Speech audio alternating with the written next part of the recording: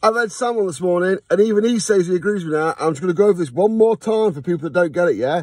This is the only way to number fuse boards. Humans read from top to bottom, from left to right. So you number it one, two, three, four, five, and six. With this method, there is no way it can go wrong. If you number it down here, then down here, and you change this fuse board for an eight way, this becomes number four, and this becomes number eight. On this method, all these numbers stay the same. All the test results are the same. All the previous test results are the same. All the cable numbering stays the same. That's why streets are done like this. No matter what anyone says, this is the only way to do it.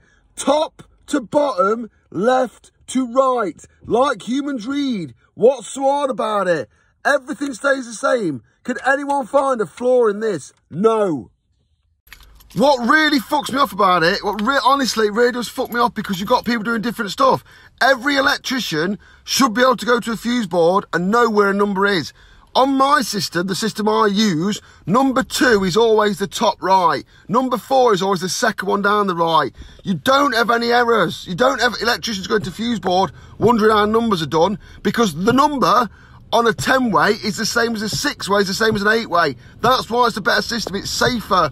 We've got Sparkies going to fuse boards, looking for numbers, risking numberings be wrong. And what really pisses me off is, why don't the IET put it in the regs, standardise the numbering. That way, everyone will be working the same IM sheet. So Sparky is not going to go one, two, three, four down the left-hand side and turn that breaker off, thinking he's turned breaker four off, when it's in fact up there. This is crying out for standardisation. It pisses me off that it's not been done. Fucking sort it out, IET, you assholes! New camera angle because the sun's in the window, yeah? I've had about six people message me now going, fucking oh yeah, that's right. It is right. It's not my method, I didn't invent it. It's what I got taught to do by the firms I worked at. Look at my system and see if there are any flaws in it. If there are any flaws in it, let me know, I want to know. But there's definitely flaws with the down one side, down the other side thing because the numbers all go wrong. If you use the top to bottom, left to right method like you read, you won't go wrong. Like a street's numbered. I'm not telling you wrong, I'm not telling you a cunt. I'm not trying to fucking put anyone down. Maybe some people have never done a big numbering system across a massive plant.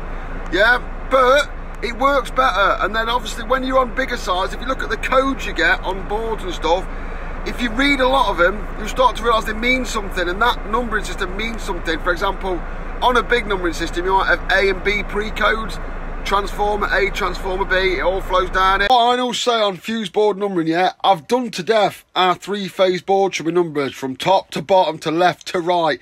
And loads of people have messaged me today saying they agree with me and they get it and they understand what it is. Whether they go and do that, I don't know. You can't just start changing your fucking entire site, but hopefully it'll filter through. I might keep pushing a little bit more, who knows. Domestic fuse boards. I don't care what anyone fucking says, yeah, mine's got it. My isolator's on the right. Don't number them backwards, yeah? What you want to do in domestic is, if you want to number them like that on your test sheet because it makes you feel better because it's some electrical thing people have done for years, so it can all fucking kill each other like Piper Alpha or something because they did stuff on there for years, yeah? It doesn't matter. Left to fucking right. Numbering, English, goes fucking left to right. It doesn't matter if the fucking main isolator's in the fucking middle. You number the breakers left to right. Ideal on a domestic fuse board, what I would do is, I wouldn't number them at all because your customer don't give a fuck about numbers. All they give a fuck about is names. Just want to reiterate this, yeah? So it's absolutely crystal clear. You see that fucking box? You see all you sparkers out there? Once you've fitted that, you're fucking done with it. It's nothing to do with you anymore. That box has to be used by a normal person. Just because electricians have always labelled it from the main switch and the other way. So, fucking 99% of the cunts that use that board don't have a fucking clue about that thing. So just number it like people read. Left to right, top to bottom. Bear in mind as well, look behind me. Look at this wall behind me and see if you can spot a screwdriver.